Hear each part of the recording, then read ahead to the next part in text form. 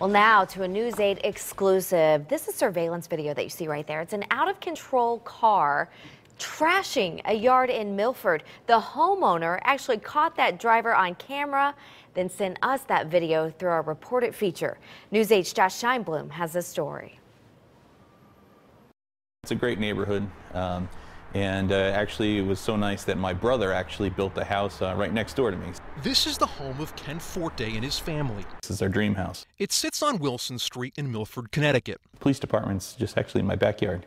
It's hard to imagine when you look at his well manicured property, but Ken says days ago this was the scene of chaos. I didn't know what was happening. It was like we were under attack. Sunday, a driver crashed their vehicle into several mailboxes along the street and then pulled into Ken's driveway, where they slammed into a pole, a fence, and then a tree. And then my neighbor ran out and nearly got hit um, by the car uh, going back and forth.